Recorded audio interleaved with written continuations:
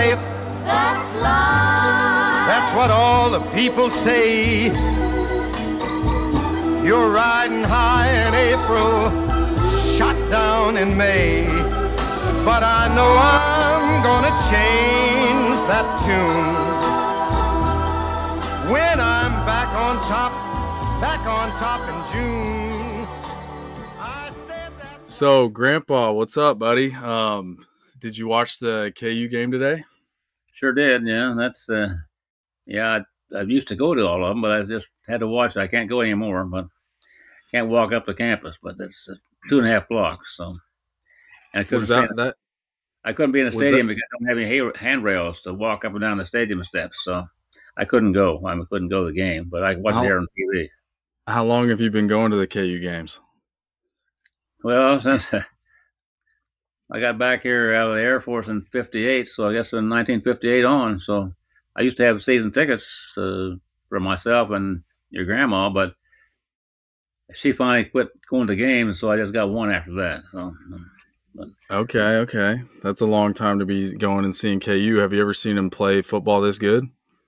Oh yeah, I went back uh, when Jack Mitchell and then and uh, oh, uh, um, he the running back that came uh, that from Chicago, um, but played for Chicago. Um, Gale Sayers. Gale Sayers was uh, was on that team, and of course they had uh, a bunch of good players back in those days. But see, Mitchell, he uh,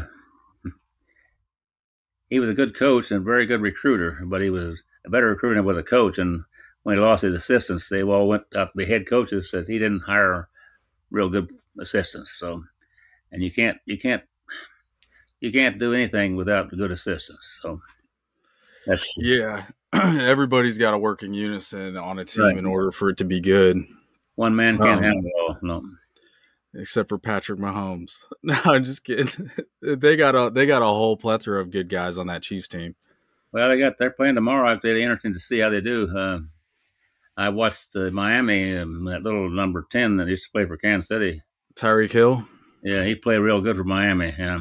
he made about He was my for him. yeah. So, He was my favorite player. Tyreek Hill was by far my favorite player on the Chiefs team. And then when they let him go, there was a part of me that was really pissed off uh, because I feel like he won the Super Bowl for us against San Francisco a couple years back. But a Yeah, lot of people are a lot of people are saying no, Chiefs are going to be just fine. We got a lot of good receivers, so I'm not going to worry about it too much. We don't have any don't like him though. I don't think we have anybody like him. Uh, of course, he's getting a little older, but he's still a great, great player. Uh, no, we're gonna we're gonna miss him, but um, yeah, we got a bunch of players. Uh, I don't know. Uh, I say he was uh, he was exceptional, and uh, Yes, he was. and he he you know good. He catch he catch the ball, plus he could run. I mean, yeah, he was he run good roots and everything else. So yeah, he did fine. So I liked how the cheetah would always throw up the peace sign whenever he was running by people, like "You ain't gonna catch me." yeah, yeah. He was he was entertaining. Um, yeah, it's, j- I, I just started noticing KU's been winning all their football games, and it's actually kind of shocking to me. But th- there's there's also a talk of like the running back possibly in Heisman position, or I don't know, maybe I'm crazy. But quarterback, quarterback more than a running back. Yeah. oh, okay, okay, I didn't know it was the quarterback. All right, he's he's very good. He runs and he passes both. He's a very very good player. Yeah. okay, okay. So, uh, um, you just had your 90th birthday. Uh, Mhm. When was that? September 2nd? No, the fifteenth of September. 15th of September. That was it. Okay. Just, And how a does week ago? Yeah. so you've seen a lot of stuff. I wanted to get you on my podcast because you know, you 90 years is a lot of years. Um it's um you've seen a lot. You've seen a lot and I I have some questions and I just kind of want you to tell your story and just um where like I guess we'll start at day 1. Like where were you raised, grandpa? A little town of Quenemo, Kansas. Uh, it's a little bitty place that's no longer has anything. They got people living there, but there's no there's no facilities. There's no grocery store. There's no filling station. Nothing anymore. It was about they had about 500 people when I lived there, and uh, the um, of course uh, my great grandfather established the town back in the old days. So he started the Quenemo. Uh, he was uh, with the Indians and stuff back in the Sac and Fox days. Uh, yeah, so um, I was born out there, and I, of course, I was born at home because uh, we didn't go to the hospitals or anything. So my mother had me at her, our house. But uh, yeah, I was, Wow. sec- I was I was a second child, a second boy born to the dad and mom. So yeah. You're the second boy, so you're the youngest. no, I'm the uh, no no. I've got uh, three younger brothers and uh, and a sister. So Okay, dang, you had a whole bunch of brothers and a couple we had, sisters. there are five boys in the family and uh, then one girl. And uh, the girl, will, my mother had five boys before she had a girl. And uh, yeah, She called So- it quits after that, huh? yeah, yeah, she She did. finally got her little girl. yeah, she had a little girl. Yeah. I feel like I'm in the opposite realm. I got two girls now, and I'm scared I'm gonna have another one. But hey, we'll we'll we'll shoot for it and see if we can't get a, a Logan boy. Um, well, th- that's pretty cool. So your town was 500 people. Um, I can kind of relate to you on that. My town was tiny too. I know it Uh, was. I kind of enjoyed it looking back on my life, though. I like that's a good place to be a kid. It's a great place because you can be in, in everything. I mean, it's, you don't have to be the super athlete to be on the team uh, because there's not that much competition. No, No, you take- exactly. You take a school like Lawrence, uh, you've got to be really good, really good in order to get make the team. Plus, you have to specialize. You can't be playing basketball, football, and track and everything else. Usually, unless you're a super athlete. And uh, but, Yeah. yeah, Yeah, I So- saw that with Mark. You know, Mark he he was a wrestler and then a football player. He didn't really play too much basketball or anything like that. Yeah. Um, but you're right. I I ended up playing football, basketball, track, and baseball. And if I, I didn't want to go out for baseball, baseball is not really my forte, and they didn't care. They're like, "We need a guy, so you're you're playing." Yeah. And Yeah. I'm sure that's how you were raised too. Yeah, I, I played baseball. We didn't have a baseball team in high school. We had uh, didn't have enough people really, but we had uh, a town team when I was uh, in, high school, and I I threw my shoulder out, and it still hurts me. But uh, I don't know what happened, but I never could throw the ball overhanded after that. So Really? tore my rotary cup or something. I don't know, uh, but I never. But we didn't go to doctors in those days, so I think it runs in the family because my dad had shoulder surgeries, and then my left shoulder is shot from football. I can't uh, when I lift pipe at work. Work, it's always on the right shoulder. If I put it on the left, I'll almost drop it every time. yeah, it's Um, yeah, it's a problem. That's true. But, uh, Yeah, it must be a Logan thing. But so you you were raised in a small town, and then uh, and then I believe you joined the Air Force right out of high. Well, here, how did you meet Grandma? Tell me that story real quick. Well, your grandmother, um, William, she was in Williamsburg, Kansas, which is about ten miles from Quenemo, Kansas, and uh, they had a uh, real good football team, undefeated, and uh, we went. We were the last team to play them on the uh, their homecoming game, and uh, so we went over and played them. And I, uh, I was, I'm a halfback, but our quarterback was hurt, so they made me quarterback, and uh, I was not that good, but uh, uh, we got beat 45 to nothing, to say the least. okay. So when we were getting dressed after the game, uh, their principal came down and said that any of you boys want to come back, we're having a dance tonight, homecoming dance, and any of you boys can want to come back, you can come back to our dance. So, well, three of us showed up. The one kid didn't play football, but the two of us of the football team, and but the kid had a car, so neither one of us had a car. So, so he drove us over, and uh, we went to the dance, and that's where I met your mother. She was 14, and she was a cheerleader for their team, and uh, but I'm a senior in high school, so she's 14, I'm 17, and uh, that's where I saw her, and uh, that's how I met her. And wanted to the dance after getting beat 45 nothing. So Yeah. Yeah, it's gonna take some Logan swag to get a cheerleader after getting your butt whipped like that. well, yeah, but I didn't. I uh, it didn't pick me. They licked the team. It didn't pick me. That's it. So Okay. I felt Well, like, that's that's cool. So did you j- just ask her to dance, and then you met her, and then yeah. you, mhm. you guys fell in love and all that good stuff? Well, she didn't immediately. I did. I think I fell in love immediately looking at her. But uh, Okay. I uh, I went. Uh, I went to a few times and uh, went to. Uh, came up to KU and and looked around there and went a few girls up here and I didn't find anybody better, so I went back home. So that's uh, after a couple of years. So that's where I got. I went back and we got engaged our senior year in high school, and we got married the end of her junior up when she graduated, and uh, my end of my junior year at KU. So okay, okay, so it was also so fun. Got... And she said she wanted to get married. After when she wanted to get married, she said the 29th of May, and I said that's that's fine. It's final week. I never stayed for finals anyway, so I didn't. I went into with the 16 hours of B and came out 16 hours of C. So missing a couple of finals, but uh, yeah, yeah. I I was not much of a student. Let's put it that way. So.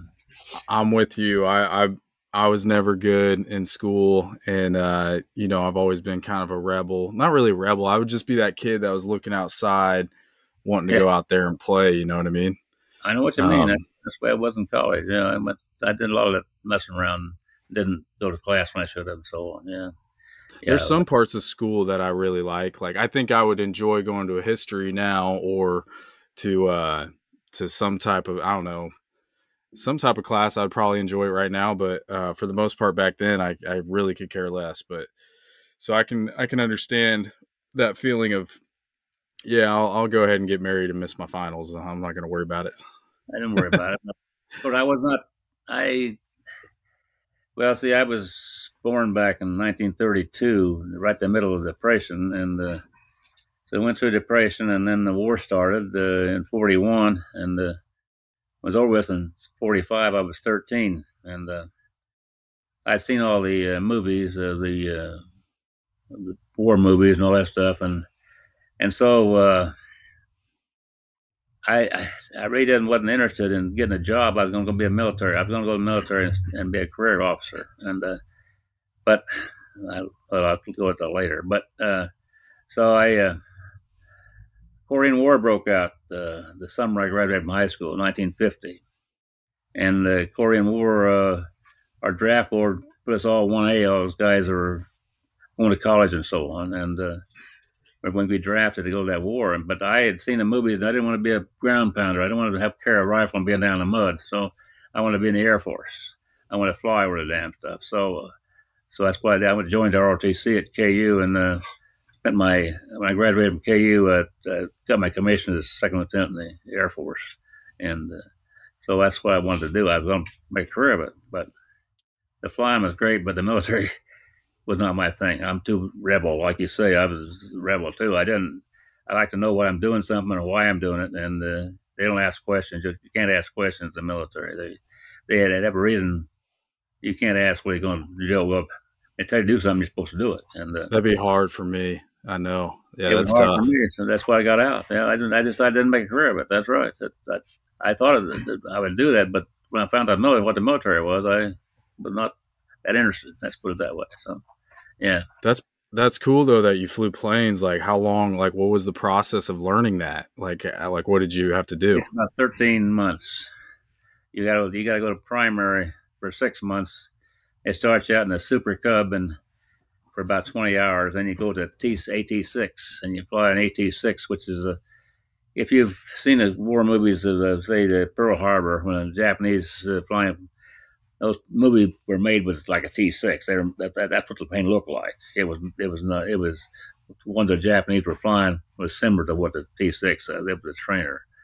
And then when you got through the six months there, and you had to have check rides, it was, uh, and the, uh, it was civilian. They had a contract with civilian uh, outfits to teach you how to fly in primary, and they had you had uh, military people there to give you check rides when it come your turn to be check rides. So uh, the uh, but when you got through out of, out of the primary, then they gave you an option. You go either to multi engine training or you can go to single engine training.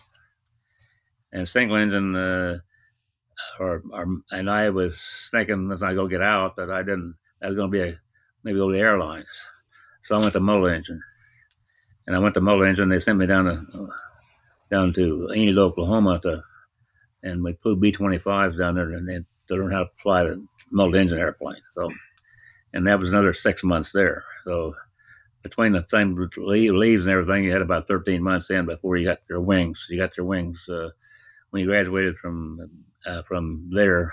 They gave you a pair of wings to put on you. So uh, That's And- pretty cool.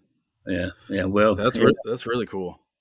it was uh, it was interesting and it was a lot of fun. Uh, I don't consider myself really a veteran. I was a veteran. I spent three years in the service, but I was in between wars, which I'm glad of. I didn't want fighting wars, uh, but I, I enjoyed the flying, but I didn't like the military. Uh, so, yeah, it was uh, it was fun. I, I enjoyed my time in the service, uh, except for the, for the, the time on the base.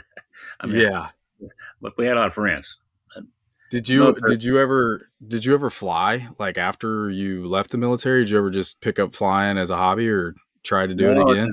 it was too expensive, and I had uh, three kids, and uh, and and I I went to TWA in Kansas City, and the TWA said they would hire me uh, for their for to be a pilot in the TWA and a commercial, and uh, but um, they said you have to with right here you trained in Kansas City. You spend six months in training for the co-pilot pod, and then we'll send you anywhere in the United States. We need a co-pilot. And I said, hell, he's got the military. I don't want to. I want to be where I'm at. I don't want to. I don't want to go any place where you don't tell me to go. So I said no, Yeah. no. Plus the other one other factor in that uh, in, in the airline pilots in those days, all the uh, airlines only hired real pretty girls to be uh, stewardess. Okay. I, never, I never knew anyone airline pilot doesn't get divorced. yeah, yeah, you probably would have got divorced. You never know. You know Well, what I mean? They you take you're flying all the time, and, and the girls are there when you're staying overloading, overloading them. You staying overnight and two or three days at one place, and um, it they, they got fraternizing with each other, and uh, that's what happens. They got divorced, so most people did. So, but uh, I didn't want to do that. I had a wife that I liked, and I didn't want to do that. So You had So a I- good foresight. You had a good foresight to see that's not a good idea for you. it wouldn't be a good idea. No, I, I don't know why I've been to this, but I'm sure it would have been a problem. It'd been a lot of temptations out there, and uh, so I didn't. I don't want to do that. No.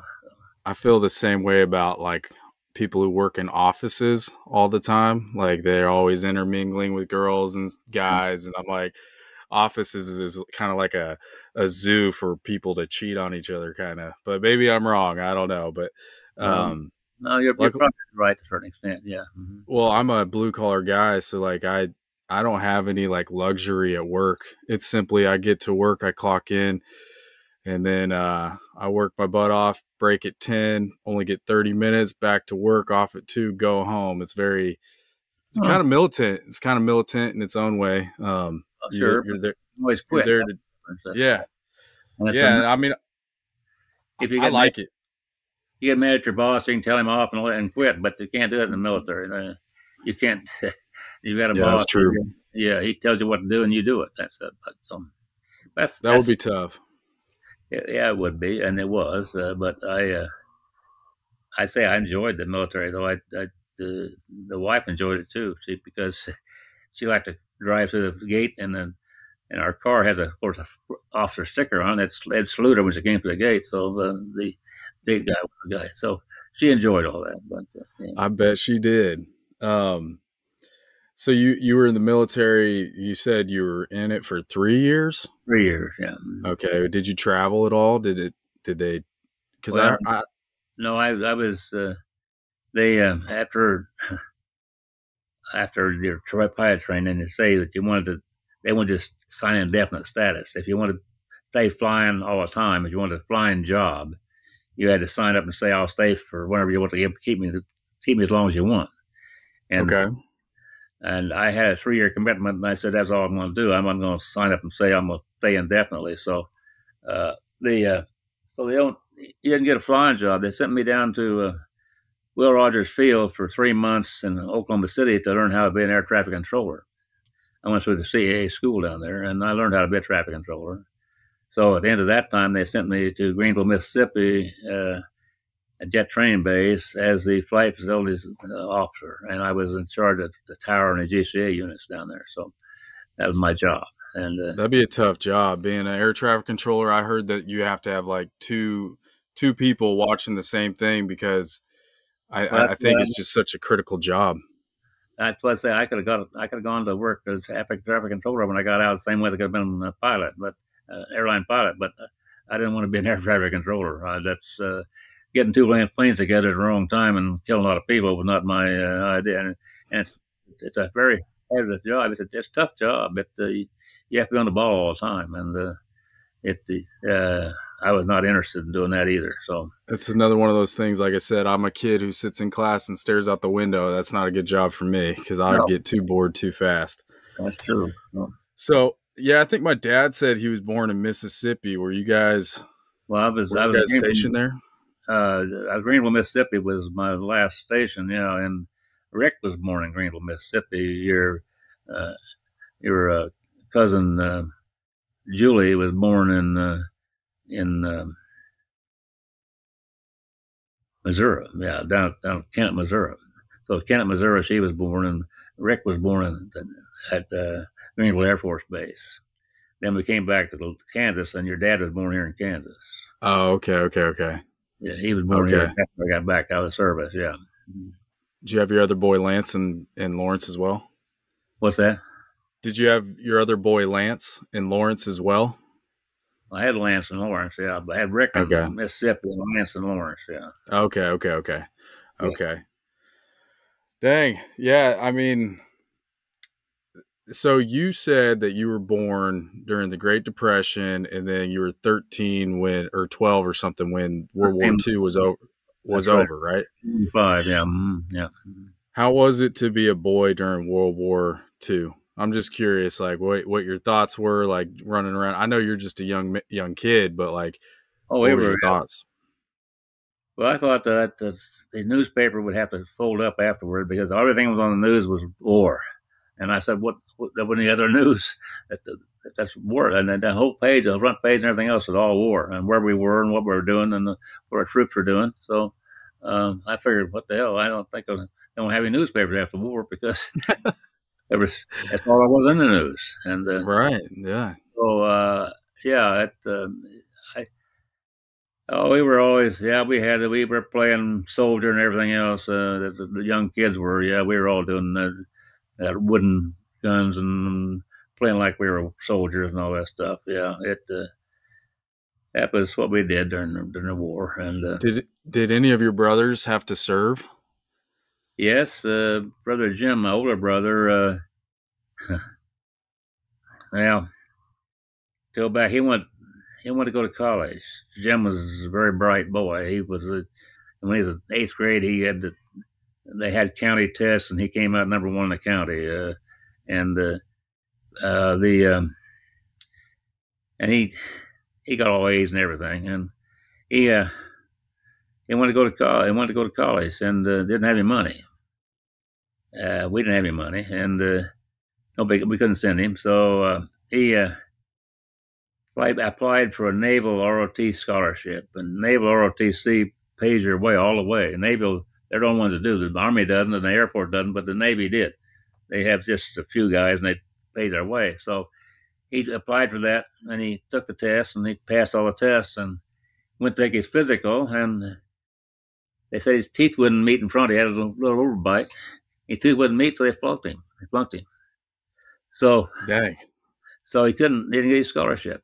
So he decided the only way he could do it then, back in those days, there was still a GI Bill was in effect. So he joined the Army for 18 months and got 18 months GI Bill.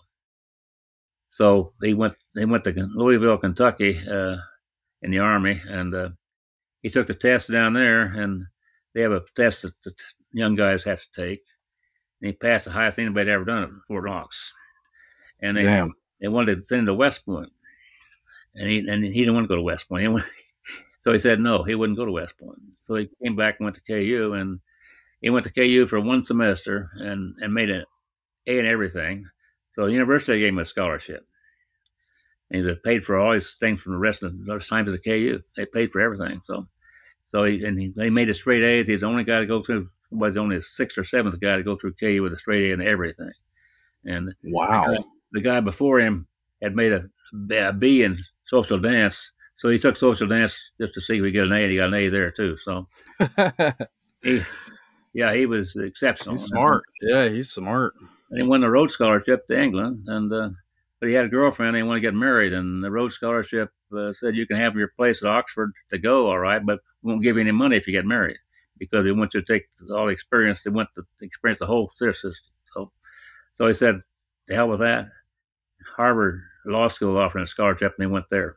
Came a Harvard. He went to Harvard Law. So he graduated from Harvard Law School. So Your Yeah. brother was a smart guy. It kind of feels like me and my brother. Jeremy's really smart, and I'm just kind of like you. I'm, well, not that we're dumb, but Right, I'm done. more. just, just don't care about it. Just don't Yeah, I'm just more exactly. I'm more mechanically inclined, and and and I like to build stuff, and also just yeah, just be outside. But that's cool. No, your brother was a smart, smart man. Smart And man. became, he became a he was dean of the KU Law School at 31 years old, and he also he run for U.S. senator uh, in the state of Kansas and Democratic ticket in the primary and got beat by 5,000 votes. But he became a federal judge. He was the 10th Court of Appeals in Denver. He was a judge at, right below one was right below the Supreme Court appeals judge are. So yeah, he Were was you guys pretty close? Oh yeah, he was Yeah. he was a super big brother because he loaned me his clothes. He uh, had a car. He loaned me his car, and uh, and uh, he'd do anything. I'm he he was just a great big brother. That's all he he was, uh, and he we never had any uh, conflicts, uh, and uh, he just would do about anything for me that I wanted, and he did, and and uh, so I I don't know. Uh, Sounds like a he- good big brother. he was super big brother, and he, uh, but he, uh, my, yeah, my, he's claimed that my dad when I when I, I was a, a fair basketball player, and um, we won the district tournament in basketball, and uh, he claimed that dad was was prouder of me than he was of him when he won the Rhodes Scholarship. So, so, Yeah. anyway, uh, so that's the way it was. But yeah, uh, we got along great, and. Um, uh, all my brothers did. We all got along pretty good. So That's good. We had no conflict. Uh, I don't know why, but uh, most brothers do have, but uh, we didn't have. So Yeah, I'd say me and my brother we we had conflict, but it was more like just boys being boys fighting and stuff. But then once now that we're older, he me and him like we we loved to go to Vegas together back when I was young and single. We loved to have just a good time together and, and that's something I'll I'll always cherish about my brother. But um, so I talked to you. You know, I'm a union guy, Right. and uh, you told me that your dad he kind of started the railroad union in Lawrence, right? well, he started in the, it's the whole state of Kansas. He was uh, uh, he and his uh, two other guys. But he was we find he started as a section laborer, what he started out as back in '29, and uh, and working his way up to being a foreman. And uh, they wanted to make him a roadmaster, but he didn't like didn't want to go up that way. So he and two other guys started a maintenance the way union on the railroad. In other words, all the track people belonged to this his union. Yeah, he he became uh, the union uh, organizer, and uh, he went around and collected the dues. And later, he was also he was assistant what they called um, his one friend was the president of the union, and he was a, a vice president, sort of like deal. I don't know what they call it, but uh, but he uh, then they made him the um, he was a lobbyist for the unions in the state of Kansas, uh, and he went to he would go to on Topeka when they had to when when they were meeting up there, to administr the uh, guys that were meeting, uh, he he'd go up and try to get union stuff through. Yeah, uh, so he did that. Yeah, he was he was strictly a union man. He was, uh, yeah, he he uh, he recognized some things though that the, they said that later on that the unions got a little bit too strong and they just the guy said he went and had to turn a bolt and they had to call a guy in to turn a bolt. He said that was too much and there's others it, it you can't you can't be that that specific on what you can do what you can't do. So, but Yeah, uh, yeah. yeah, call it picket lines. You know, yeah. if uh, if the, yeah, I I agree. There's some amazing things about the union, and there's some you know iffy Well, things, but uh, you had to have them. They wouldn't.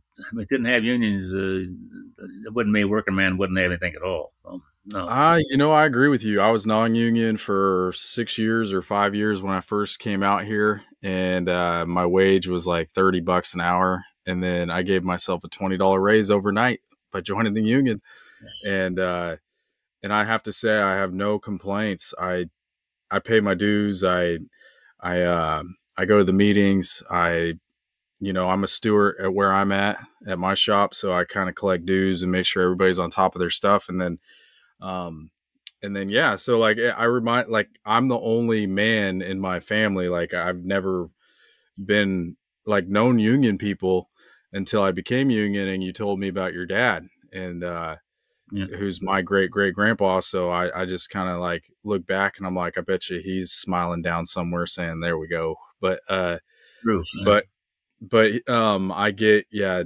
unions. I'm all about them. Um, at the end of the day, a lot of people will disagree. I'm I'm technically you know I'm more right leaning. I'm more Republican with where where I grew up and how I was raised and all that. And um, clearly, you know, you grew up Democrat and uh, mm-hmm. you had you had your dad and your brother who were who became a Democratic politician and then also you know tried and then and then he became a federal judge. Um, that yeah it's cool uh, there's a lot of craziness going on right now in the world you know with oh are you republican or are you democrat and uh, i'm really i'm really just trying to find the line in the center and just kind of relate to both sides and try to fix whatever's going on in my head and uh, well that's that's, that's what yeah. they could be doing in washington they say they it's got to, it's got to where they're just they're against each other all the time and and you can't do that i mean you our politicians used to be. I mean, uh, we had Republicans and they had Democrats that got together and they passed stuff that was good for the country. Now, right now, you can't pass anything good for the country because one side says no and the other side says yes, and then you, can't get anything done. You can't get anything done. It just it's crazy too how it shifts. Like for instance, uh, JFK was a Democrat, but now it, it seems like he's more of like a liber- liberal mind. Like I don't know how to explain it, but like the the shift of the mindset changes throughout the years. and uh, as of right now, though, um, I mean, uh, I don't mean to dive into politics with you right now, but uh, but we will, we will, we'll we'll talk about it. But like, uh, um, I don't necessarily think Joe Biden's doing such a good job. Uh, today, I had to pay for tires uh, for my wife's car, and I went in there, and he's like, "It's going to cost eight hundred dollars." I'm like, 800 dollars for four little tires?" He's like, "Yeah." Uh, inf- inflation on is up on tires forty percent at the beginning of this month, and you know, I, I I'm a union guy, so when when Biden got in there and he shut down the Keystone Pipeline, I was like, "What are you doing, man?" Like, that's that's that's ten thousand union workers you're taking out of work. So I, there's a lot of things I disagree with him on, and and it, it's it's kind of it sucks. And and I'm not saying you're labeled a Biden supporter, but like, um, well, I, I say I support him better than I support Trump. I don't care for Trump. So Trump, yeah, a lot of people don't care for him because they they don't like like uh, my brother has a really good saying, and he he he is right about this because my brother understands CEOs. He said Trump was a good CEO. He put the right people in place to make the economy run really well, and uh, and then uh, I would say that Joe Biden, I don't know necessarily who he's put in place, but it doesn't seem like it's running too well. But uh, I understand though. Uh, w- would you say would you say you didn't like Trump because he was just like an asshole or what? Uh, yeah, that's part of it. But uh, he uh, he's a businessman, and I understand that. But uh, like I, the, the story they, they tell about the about his Trump Towers. his Trump Towers, you know, in New York. And he had made a contract with a guy to, to supply him towels for his tower. And he got all these towels, and they got the Trump Tower across them, all them, you know, identified with the Trump Tower. And the guy brings them up, and he says, No, I don't want them. And the guy said, okay. What am I going to do with them? And what am I going to do with them? And they said, Well, you drop the price, and I'll take them. And what they did. So that's and that's that's his way of doing things. And and uh, the other thing that got me though is that uh, I uh, he uh, if you don't agree with him, you're in trouble. I mean, and and he he wants people to, to like him more than they like the country, in my opinion. So uh, he's he's more you you pay attention to me, and I'll take care of the country. And uh, so you do what I tell you to do, and we'll be fine. And maybe he's right, but I don't think so. And the thing is that when he tried to stay in office after he was uh, done elected, and he says that they stole the election uh, and they proved it, it wasn't stolen. Matter of fact, how it how I I asked your dad this, your dad the Trump, but I asked him now if if they change all the ballots, I take it. I, I go down and vote, and there's a whole bunch of names on there, not only just the president, but a whole bunch of right. Right. How come they only changed one? I mean, if they if they change all these ballots, how come they only changed the the one, the president, and the rest of them never changed? I mean, I mean, you can't do that. I mean, it's impossible to have that, that, that, that do only one guy. But only one one thing be changed on the ballot. So they all they elected all the people, other people, but uh, the Republicans and what have you, the, the congressmen and senators and stuff.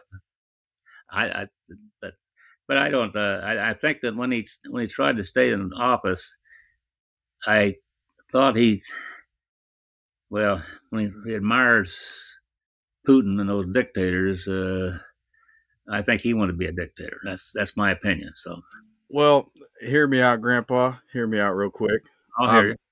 I'm, you know, I agree. Trump, you know, he pushed or whatever. I shouldn't say that. I'm gonna have to bleep that out because YouTube's gonna take down my post if I don't. So I'll bleep that out. But uh, you know, he let me let me say something. So January sixth and all that stuff. Whenever he stayed in office, like I, I I had heard and I talked to my brother about this and that he had hit up Nancy Pelosi saying, you know, send in the National Guard, all this stuff, and they didn't. So it, you know, they're playing a game. At the end of the day, there's games being played and and there's there's narratives there's narratives on both sides that they want you to pay attention to and you can pay attention to one and totally believe it or you can t- pay attention to the other one and totally believe it and be totally wrong on both ends that's so exactly. um so i don't take everything that's out of the news like i take it all with a grain of salt and i i do my own research on it but like uh um when you talk about dictators i can't help but say joe biden is a dictator because when i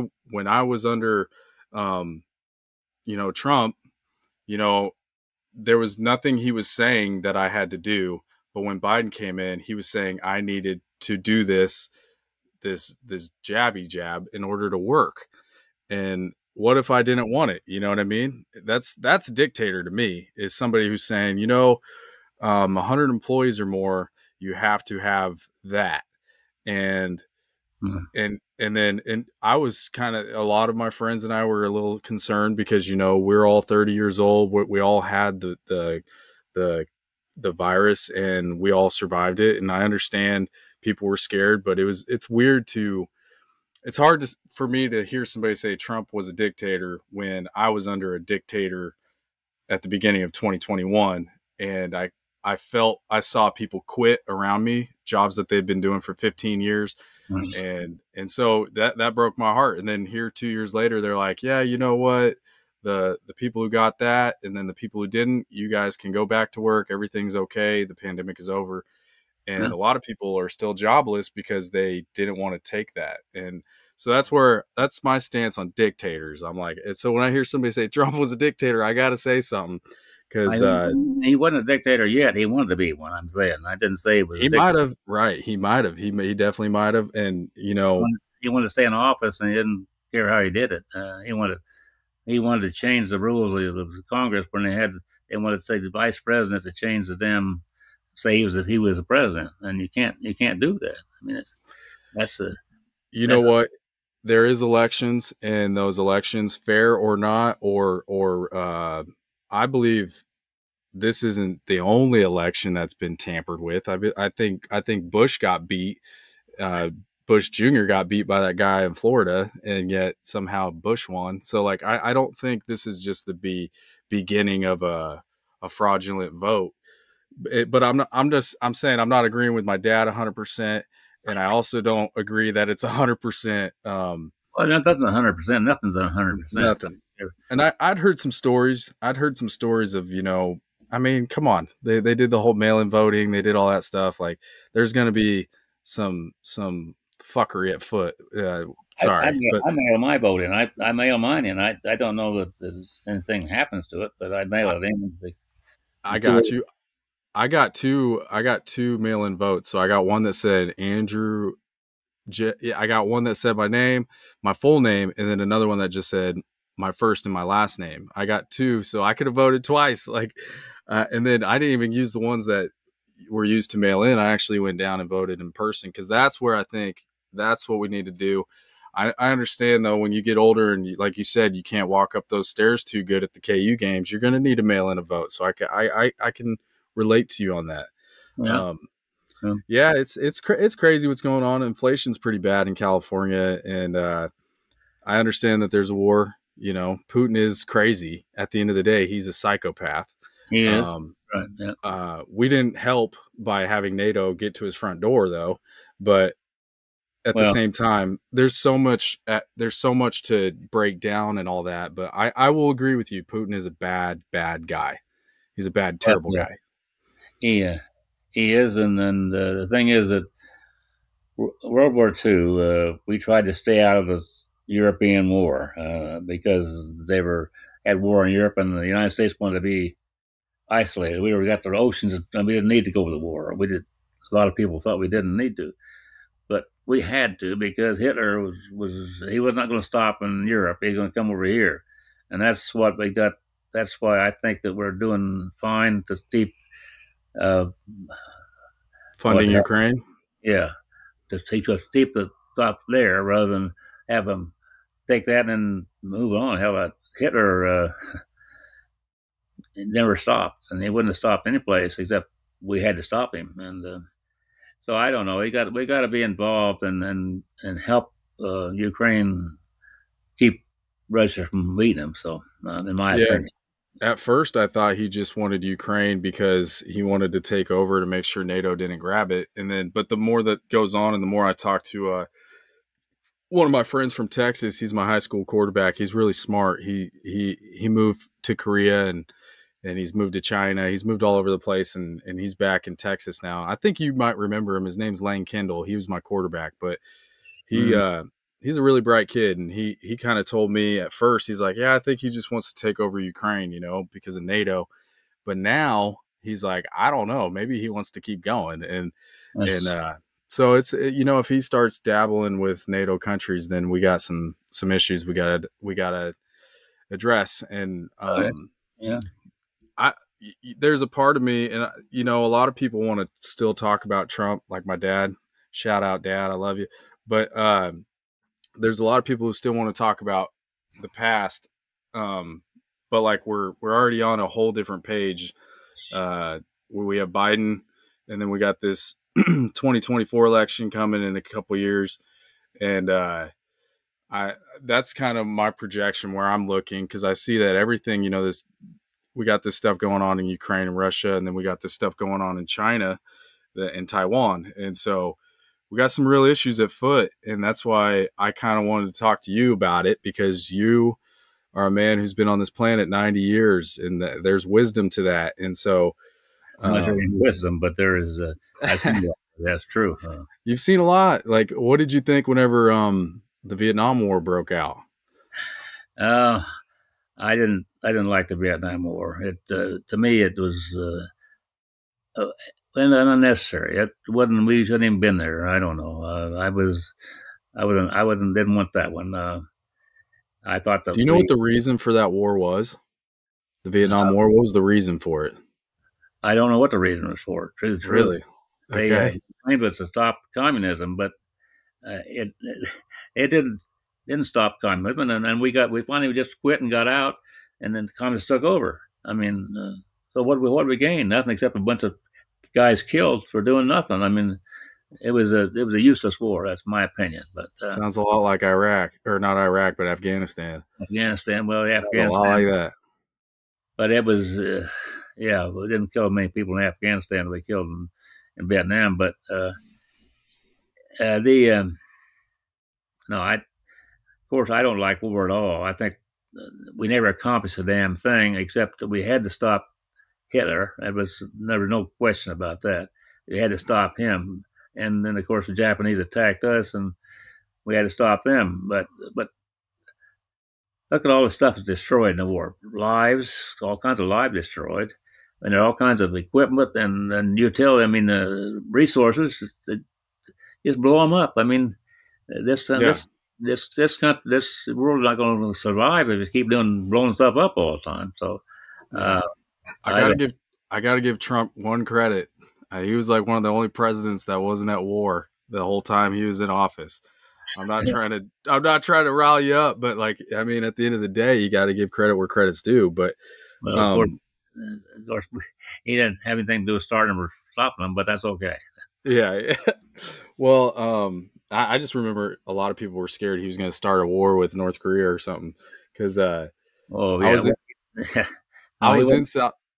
yeah, I was no. in South Korea when that was really, you know, hot and heavy. I went to go visit that that my friend and I went to the North Korean DMZ border, the demilitarized zone, and uh, this was like 2017. And then I remember Trump went over there and talked to him. He was like the first president ever, but to go over there and talk to that guy. I, but it was hot. It was kind of a little scary at that at that moment. But seems like he's settled whatever was going on. But if I want to talk about, you know, how you said Hitler, you know, that's a Hitler was a problem. He was a big problem, and that's why you backed that war. There's a part of me that's like, you know, that Kim Jong Un's a problem. You know, Well, that, yeah, kid's a pro- that kid's a problem, and uh, he had a lot of yet. So.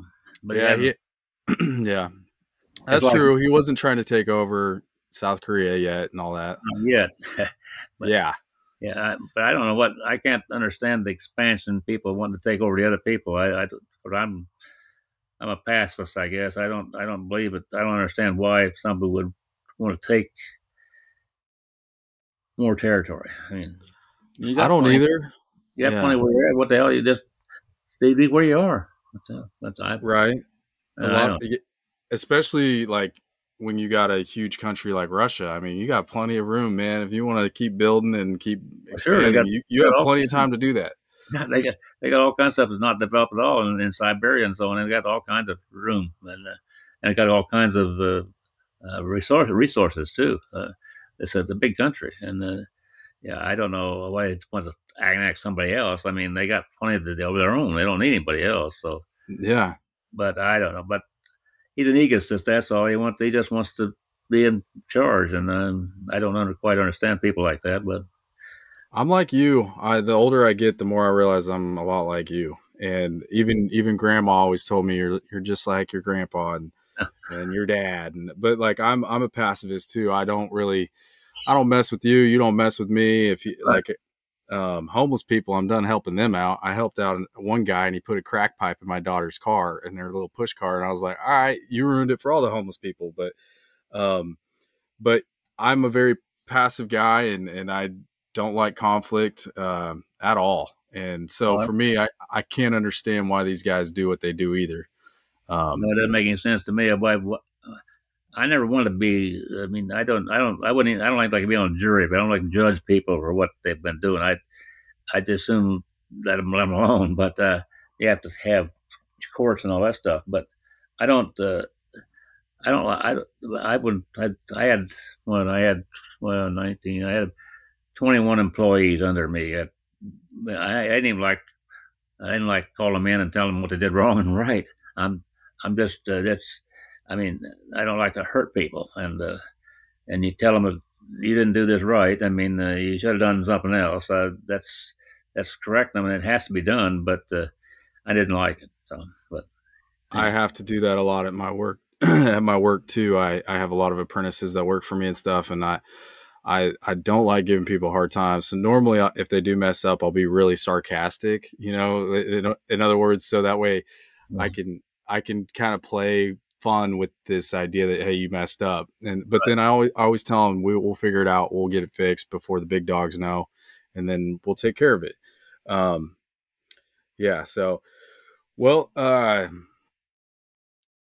well to move away from war and all that kind of stuff uh I do want to reflect on you know you've been on this planet 90 years since 1932 right?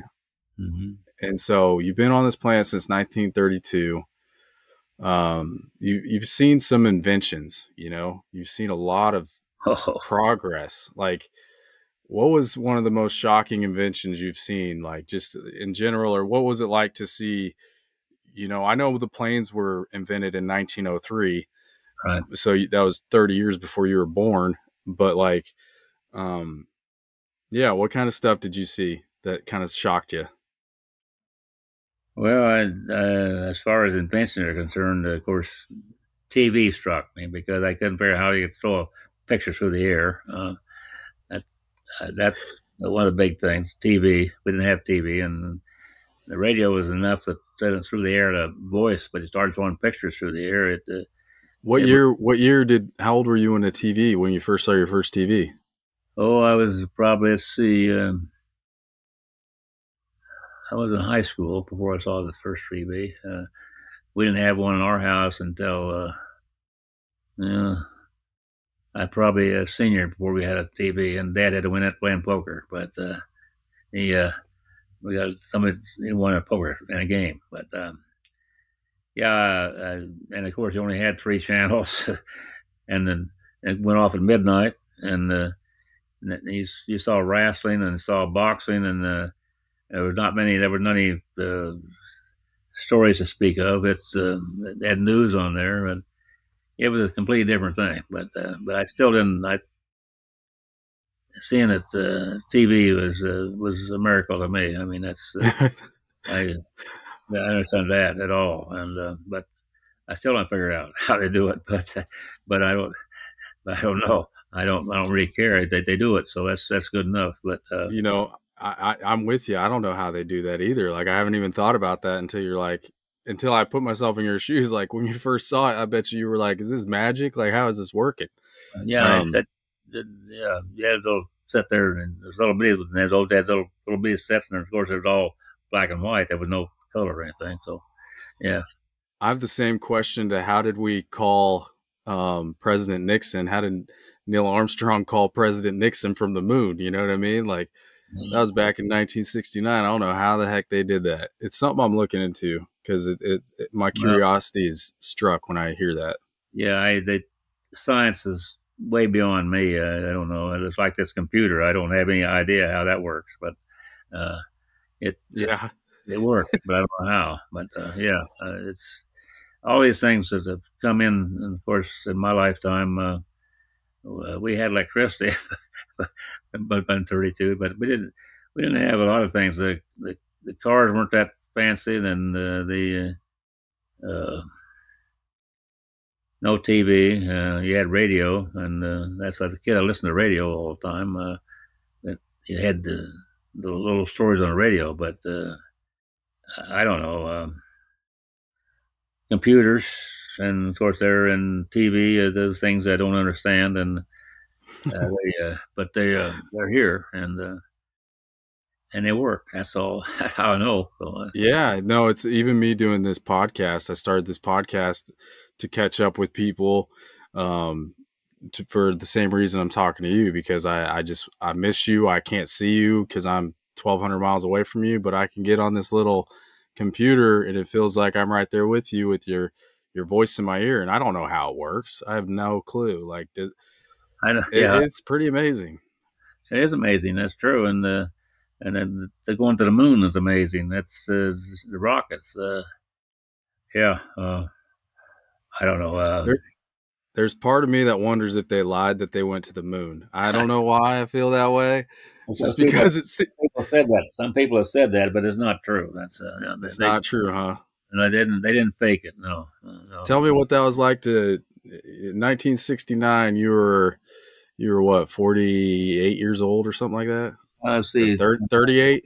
38. Yeah. 30. Uh, 37. Yeah. hmm So you were you were just three years older than me now. Like what what was that like seeing them go to the moon? What what did that did you did you watch and follow up that whole? Oh yeah, I mean, everybody watched and did. Yeah, everybody. Was, all it was a, everything. It was the big deal, and everybody watched it. And it's. Uh, I think the whole whole nation watched it. Uh, yeah, it it was something that uh, never happened before, and uh, it was a big deal. That's all. That's uh, yeah. So I everybody know, watched. Ru- I know Russia was fighting to get up there. Like they they had just sent their first guy into orbit, right?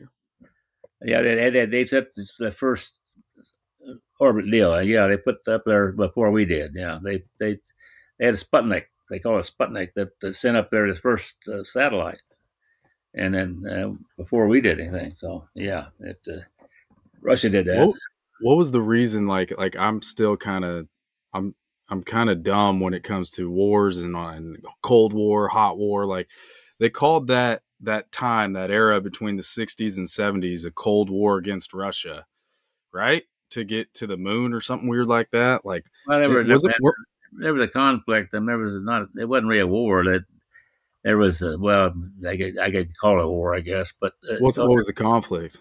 Uh, they were they were ahead of us in in in the uh, uh, in making things. I mean, the, the, the Sputnik that was they were heads in rockets.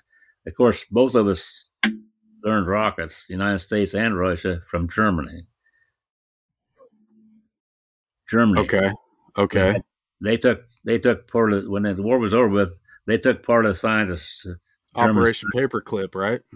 Well, I don't know what it was, but they took part of the people that were the German scientists to Russia, and we took part of them over here, and that's yeah. how that's how we got our rockets was from Germany. Yeah, Wernher von Braun, he was a he was a basically a Nazi, and he he, he was he, Nazi, yeah. He he was the one who uh he was the head of NASA back then. Right. Yeah. Yeah. He was he was the one that brought the brought, put us in the space race. Yeah. He was he he was a rocket scientist, yeah, and uh, we yeah. used him, and the same way the Russians used some of the others that they, I didn't know who they were, but some of them were, they were all, Russia didn't know anything about it, the United States people didn't know anything about it, the, the Germans knew it, and they started a rocket system, so they were very bright people, and they uh, they did it. they they, uh, they did a hell of a job as far as uh, in in science is concerned. They were good. And, and, no, they were. Yeah, I mean, clearly Germany back then when uh, when uh, oh Hitler was in control, he did have a setup of taking over the world in some case. He had all the smart people, all the like uh, he probably just had he probably just had tons and tons of like almost prisoner scientists or something like like people like he forced to learn how to do stuff instead of like the democracy of hey learn on your own time figure it out. Like i maybe it was much more um maybe it was much more uh controlled by hitler but if you need to answer that you can. Oh, i don't have to answer. It it's nothing. Okay. Somebody put money that's all but uh, okay. you know uh, hitler uh he he, flew, he screwed up in two different ways. He screwed up First, he screwed up by uh, killing all the Jews. Hundred percent. The Jews are very smart people. As a matter of fact, uh, they, uh, they they were some of the smartest people, and he he took a race and just tried to kill them all, and, uh, and he did kill seven million of them or something like that. But but that was a big deal. And then anyway, he made a deal with Russia, and then he went in and, and Russia and went in and took tried to take Russia. So and that was that cost him a a lot of men, and and he never did take Russia. So uh, they uh, so those two two mistakes he made there, uh, real real mistakes. Then he made a mistake. Of course, he made a mistake in England too because he was bombing the English uh, factories and stuff uh, and putting them out of, out of commission. And then the English bombed Berlin. Okay. Pissed him, pissed him off, so he decided to bomb London and he took his bombers and put them in London rather than taking the uh, air bases out and stuff. So he screwed up because let the air bases rebuild. And, yeah, yeah. He just he kind of was like, "Well, I'm gonna yeah blow up your city instead of tactically hit your military." That's right. That's what he did, and he and he was that's what he, he was. And he made a, couple of three mistakes there, and that's what cost him the war. So, uh, because he had interesting, he had he he had the facilities to, to take over Europe, and and if he just held off on Russia instead of going in and attacking when he did, and kept his scientists, so the the Jews, uh, yeah, he, he just he just and he could take England too if he did if if he had quit not quit and quit bombing the people and and and he quit bombing the uh, strategic targets and started bombing the people, hoping to break their will. So. Um, yeah, it didn't work. So, but yeah, That's interesting. Um, no, that's that's interesting. I it's crazy to think. You, well, you were on the tail end of all that. You were just a young kid, that's right. but but that's crazy. Um, yeah, I, I'm glad everything's worked out the way it's worked out, but I'm also looking to the future, and I'm looking at the knowledge that you have that you just said. You know, with Hitler trying to take out the Jews, and that's where he screwed up and all that. Like, there's also something weird going on today. Like, I think there's a, there's a there's a lot of weird stuff at foot. Like right now, um, I feel like China wants to be the top power. They've wanted to be the top power, uh, Uh. just like America. They wanted they want to be us, and so I've been paying attention to to China quite a bit lately. And you know, they they have other than the fact that they're not trying to take over um, other countries, other than Taiwan. They've talked about it, but they have uh, Muslim Uyghurs in concentration camps like crazy, and Yeah. and you said seven million Jews were killed in Germany. I feel like we need to pay attention to the numbers that the Chinese are killing in the Uyghurs right now because if we have a heart of hey, you know, there's something going on, we got to we got to help out Germany. There's a part of me that says, hey, we got to do something with China if they're going to do this to people as well. I mean, it's just an interesting time. Uh, um, well, the the uh, Chinese, uh, they're like, I mean, they're still any kind of dictators. They want power and they want to do what they want to do, and uh, the uh, and um, they they repress the people. I mean, it's uh, the guy in Russia that was Stalin. He killed mo- millions of his own people because they didn't re- react the way he wanted them to do. So, he he starved them, right? yeah, he, he killed millions of them, put them in concentration camps and everything else. Uh, uh, dictators, people like that, uh, they get in power and they uh, it's very difficult to get them out of it, and they, they cause all kinds of trouble for everybody. And uh, and the Chinese uh, have got uh, their uh, communist people that that think they should be everybody should be communist, and and it's not true, but. But they try to make everybody and and yeah they're they're they're very dangerous no question about it so What scares me about China too is like, how do you compete with that? You know what I mean? How do you compete with that kind of dictatorship over the people to do what you want to do?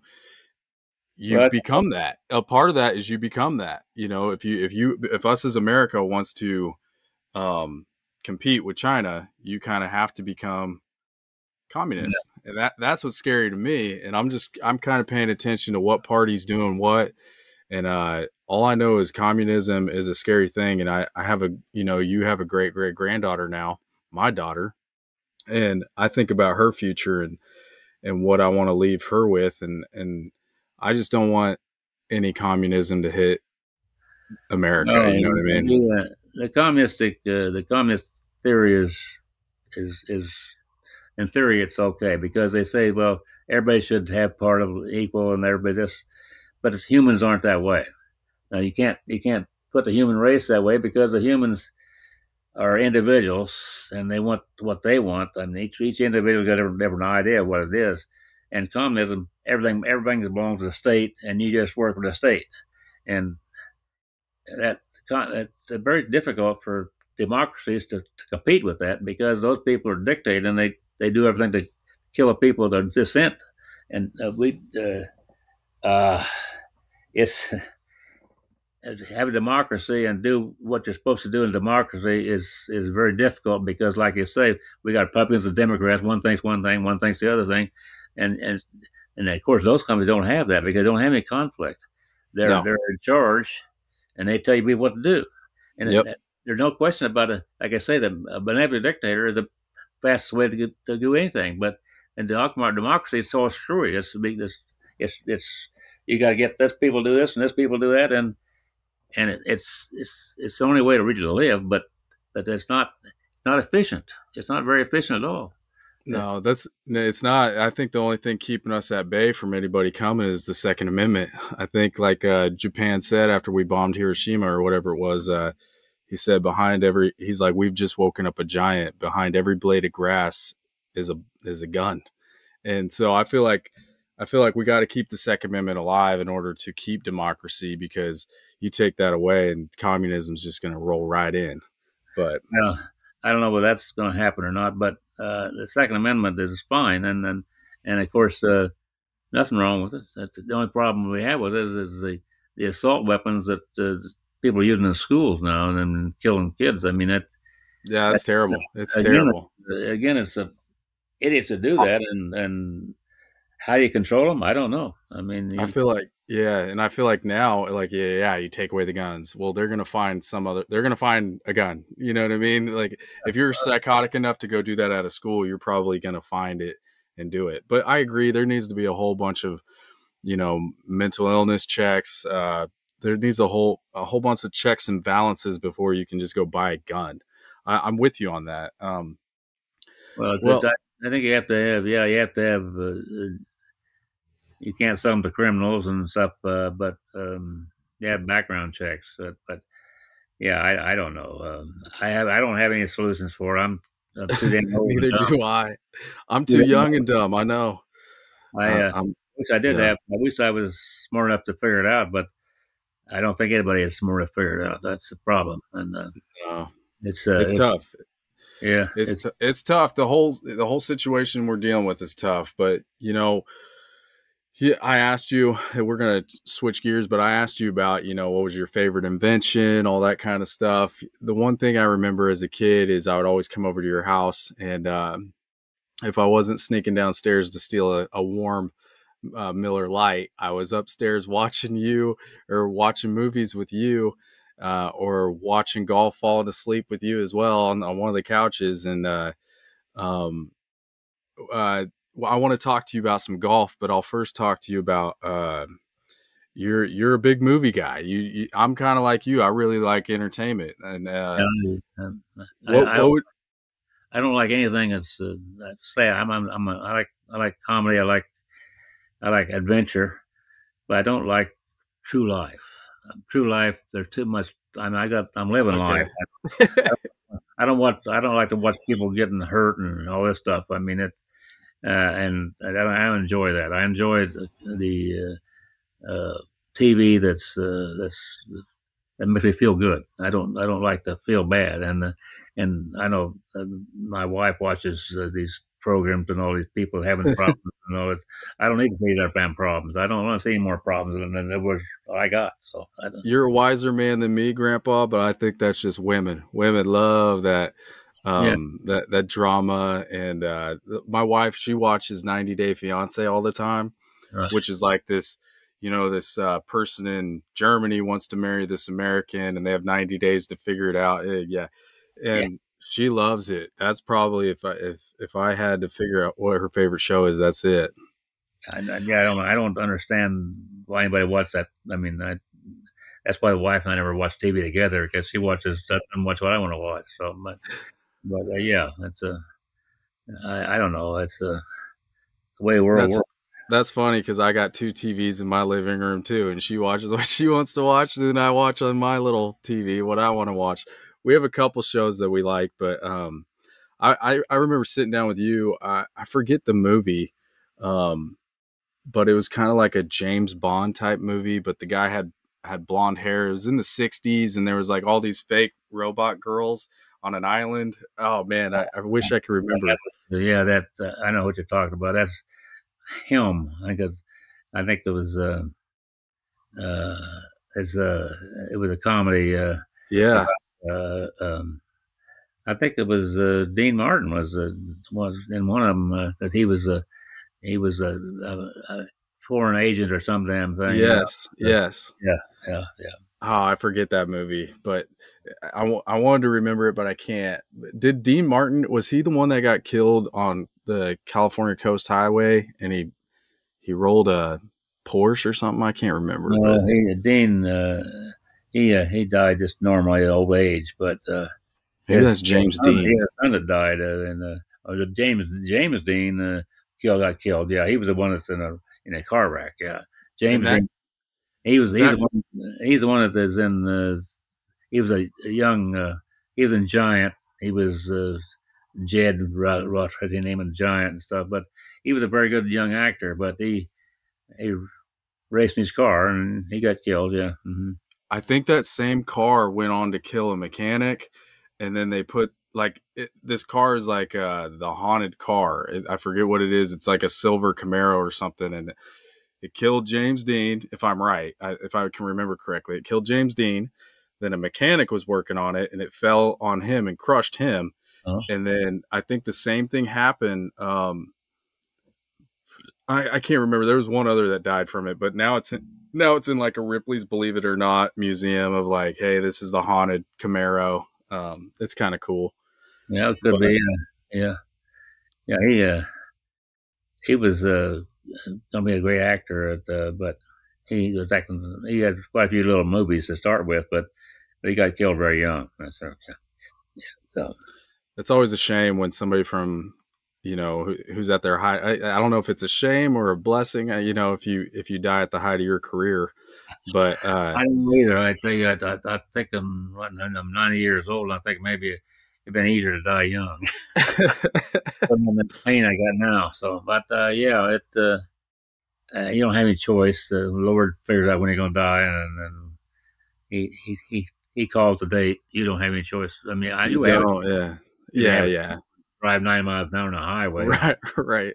run into a some some uh, branch or something, or you want to shoot yourself. Yeah, those you have that call that that that deal. But but as as far as uh, when and when you're going to die normally, uh, it isn't up to you. It's up to the Lord to do that. I agree. I remember when my my mom said before, or I think she met you, and she was talking to you about God and stuff, and you're like, "Well, in heaven, is there a golf course?" That's all you wanted to know, and I understand that.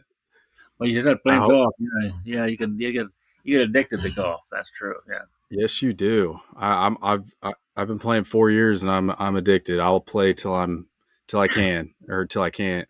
I played till I was 85, and my legs gave out, and my knees gave out, and my back, so I couldn't make a turn anymore. So, but yeah, yeah. I, when I retired, I played 63 days straight. So, yeah. What year did you retire? Like quit playing golf? And right when I retired from business, I retired from business when I played, but I retired from golf uh, just about five years ago. But Okay. Uh, I couldn't, I couldn't um, make the turn. I couldn't. the hips, man. Yeah. the hips and lower back it, it, it probably just i i'm shocked you made it all the way to 85 that's a good that's a good run Well, I, well, I used to walk and carry my bag, and uh, I'd play 36 holes some days and do walking and carrying the bag. And I never rode a cart until I was 70 years old. When I was 70 years old, all my buddies were riding. Of course, they've been riding for years. And I said, I just couldn't keep up with them. So I had to start riding. And uh, then I went downhill from there. I gained weight and everything else. So you have to be good though if you're gonna walk and your buddies are gonna drive you got to be good because that's you right, can't be got- chasing You can't be chasing the ball. No, you be no board all the time. No. no. so it, it kind of convicts you or, or whatever to hit the hit the good shot if you're going to be walking that's true. Yeah. Yeah. I talked I talked to you once before, and I actually was talking to a buddy. I went golfing a couple nights ago, and uh, we pl- we were playing, and and I was telling him I was like, yeah, my my grandpa got two hole in ones in his career of golf, and uh, can you tell me about those two shots? Well, one of them was a, a good shot. One of them was uh, I was playing over in Topeka, and uh, I hit the ball and then backed up in the hole and a par three, and uh, that was a good one. And then I hit one How far how far away was that par three? oh, that like that first one. 165 yards, something like that. That's a deep shot. That's a good shot. Well, that was a lucky shot, and uh, but Do then you know what club you used? I can't remember. Probably, Okay. probably I had probably a five iron in those days. I think uh, that it probably hit it that far in those days. The, the equipment wasn't as good as it is now, and so on. But, but yeah, uh, the other one I uh, it was a only about let's see, it's, it's trying to think how long that hole was. It's not a very long hole, but I hit I hit on the bank, and it's a, it had a bank up here, a sand trap, and then the green was here, and I hit up here in the bank and bounced off the bank and went in the hole. So that was another one. That was that was a strictly luck one. That's it. But I've seen them. I've seen a lot of them that were very lucky. That's true. I saw one one day playing a guy. He, he was hitting over here, and he shanked the ball and hit a rock over here and went across and went in the hole. And, uh, he went 40 yards out of the line and hit the rock and went and right in the hole. So that's, I mean, uh, that happens. Yeah, that's, but you, it's a hole in one. That's true. But it's, Heck yeah, it's a hole in one. but it was it like the mine off the bank was tricky luck. I mean, it's uh, it wasn't a great shot. It was it was a fair shot, but it wasn't a great shot. But uh, yeah, That's awesome though. Uh, my my best one was an eagle, which was like six months ago. I was about 130 yards out, and I used a pitching wedge, and I was with my buddy, and it was kind of cool because I I had all the guys roll roll up on me because I was the last shot, Right. and so the, everybody was watching, and it landed on the green, started rolling, and then it just disappeared. And I kind of looked at my buddy, and I was like, "Did that go in?" And then and then we ran up, and it was in the hole. It was a good feeling. That's a real good feeling. Yeah, I, I uh, my best. I was playing in the wintertime, and I had uh, three eagles on the on a uh, on the course. In one day. Yeah, the ground was frozen, and uh, I, the ball rolled along the ways, and I hit onto the green, and I never made over ten foot long, far to make a putt, but I had yeah, I had three of them in one round. Yeah, Heck that- yeah. and the other time I've had five birdies in a row, and that's uh, those are two things that, that I remember about that. But uh, yeah, but yeah, That's awesome. well, you play enough holes and you play enough years, maybe that happens. That's all. But it's just, it. I wasn't. I never was. I was never great. I was. I had a lot of rounds below par, but I never. I never was consistent. That four and five handicap I had for years, but that's that's as good as I could get. I. That's still really, really good. Well, it's it's it's pretty good, but it wasn't. I always wanted to be scratched, but I never got scratched. But Wasn't Yeah. wasn't wasn't Tom pretty good, Uncle Tom, Julie's Tom husband? Yeah, he's very good. Yeah, he played, but of course he was. He lived on a golf course. His dad's a dentist, and they lived on the Lawrence Country Club. And he played. I was out working on a railroad in the summertime. He was playing golf, so I mean, it's it's a, it's a different deal. I mean, it's a, he, his folks had money and I didn't have, and we didn't. I, didn't, I never saw a golf course was in the Air Force, but uh, and then they didn't think didn't pay much attention to him. But uh, I didn't play golf till I got back out of the Air Force. Would you beat Tom though? Like when you guys played later Uh, on, or was he was he I- always beating you? The only times I played him, he beat me. Yeah, mhm. yeah. he- oh dang! I'll Yeah. get him for you. All right, I'll get him for you. I'll go after. him. well, he's, he's getting old now. He's probably not playing as good either. But That's uh, why I'm going to get him. Yeah. yeah. yeah, he uh, Tom uh, he always played good. And he, he's a good player. At uh, the uh, he uh, of course, like I say, he had a misspent youth. I mean, he didn't he didn't have to work. I mean, and it was he could play golf and learn how to do it. I, Sounds like Tom was spoiled rotten. I'll tell you what. He probably, Just he probably was to a certain extent, but uh, I don't know how that his, his parents. Uh, yeah, they they lived on on a Lawrence Country Club and golf course, and uh, he played golf all the time. And then That's awesome. yeah, he, he had it, he had a made, and he was his Good dad for him. made money, and my dad's a railroader and didn't have the money, so and and, and didn't have a golf course anyway in Quenemo. Hell, it wasn't. a- I don't know where the closest golf course was, but it wasn't around anywhere around there. I never saw one. So Have Yeah. you ever heard of the movie The Greatest Game Ever Played? yep, hmm yep. Uh, who was that golfer? Uh, Well, it's some young kid that played. Uh, oh, what the hell is his name? He won the U.S. Open. Yeah. Francis Ouimet, right? Or Yeah. Francis, I forget his name. What is his name? Francis Omit or Umit or something like that. Like that. Yeah, it's, I know it's something like that. Yeah, he. Uh, I just keep going. He what?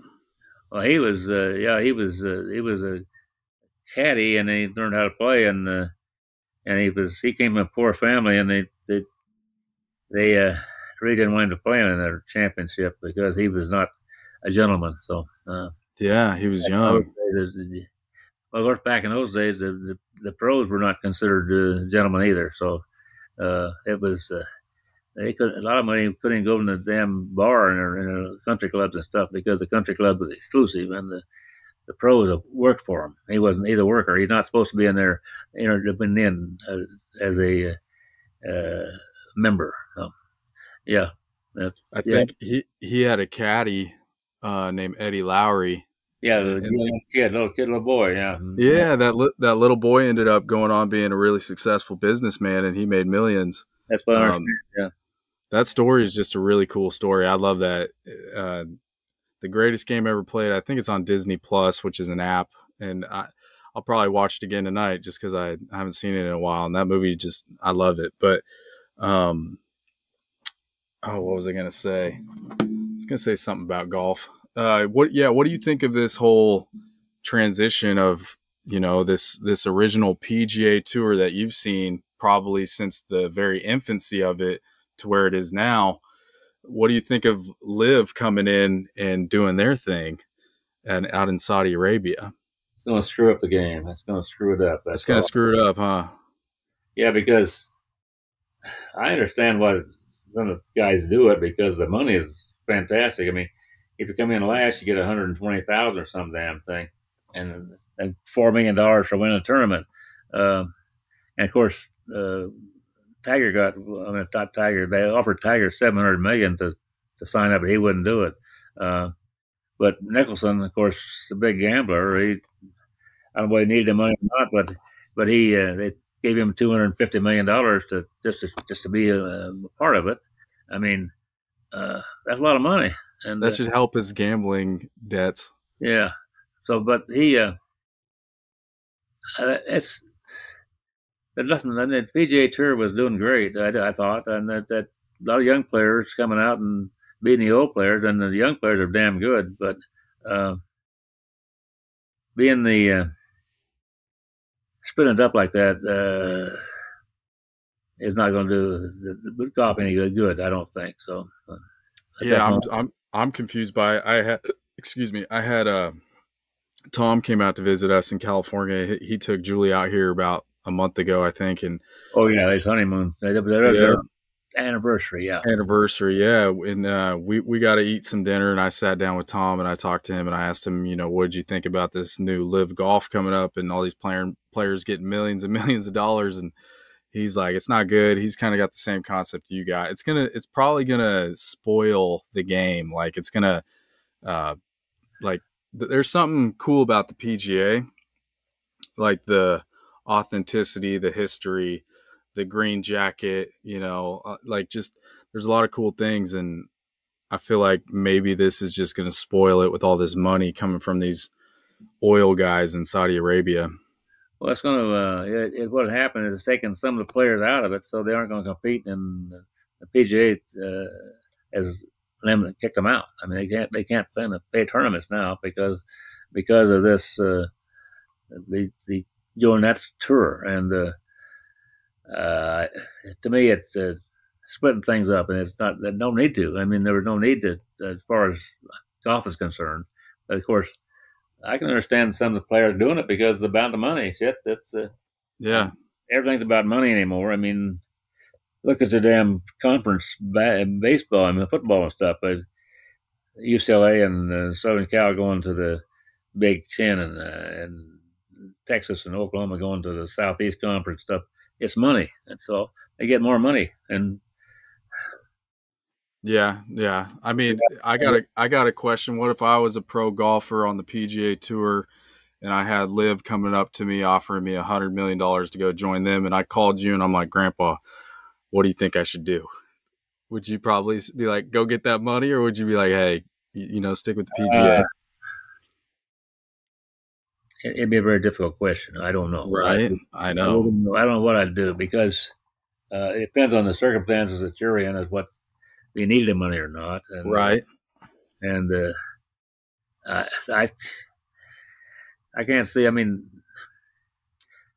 to me, uh, well, I mean, you got a you got a baseball pitcher who gets thirty million dollars a year to pitch, and he plays in four four games. He's the only ever fourth game, and he only pitched for three or four innings, and he getting that's about every pitch he throws is about ten million dollars. I mean, ten thousand dollars a pitch. I mean, it's screwy. I mean, there's no. I mean, there's no rhyme or reason for it, and there need to that.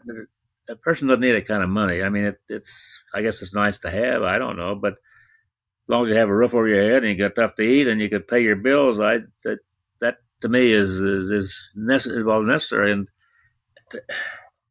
uh, I I don't understand big money because it, I mean if you had it, I'd, I'd have to give it away because you'd have to uh, help people that don't have it. I mean, it's uh, they say you can't homeless people. That's one thing, but but, but you have to help other people if you had the money to do it. And then these people, and I don't do it. I don't know what the hell to do with their money. But uh, when you got that kind of money, I mean, uh, if you like you win a yeah. lottery, well, you'd have to you'd have to give it away because you there's no way you can spend that kind of money. I mean, I guess you could if you wanted to buy an airplane and uh, have a pilot fly you around and all that stuff. Yeah, you could do all that stuff. But but I uh, it doesn't. Uh, no, it uh, uh, money is uh, it's, it's, what they're getting now is, un, is unbelievable. I mean, when you got pitchers making thirty million, you got basketball players making forty million a year, and you got football players making a half a million uh, or a million dollars a game. I, I, I mean, and, and so yeah, it's, it's generational money, man. It's like they they could pass if they are smart, they'll invest some of it, and then they'll also, you know, pass it down to their kids and grandkids and those grandkids. But I mean, that's the thought. But a lot of them probably won't.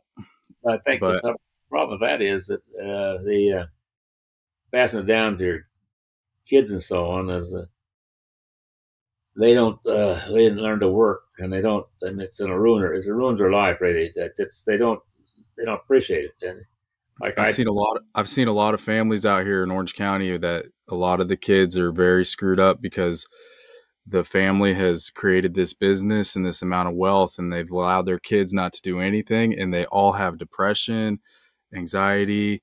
The the issues that they have are very solvable. It's not like a but that they're they've been spoon fed since they've come out of the womb, so they've never had to face adversity. So everything's a challenge to them.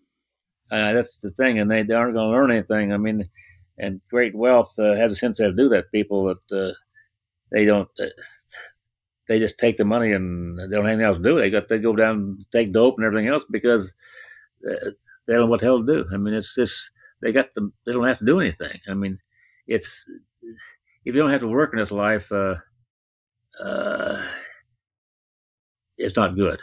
You, you have to, no, you have, yeah. You have to go out and work for a living, and you have to do. I mean, sure, it's nice to have the money, but big money is not. Uh, uh, it's not necessary. That's all, and it's and it hurts. I mean, it.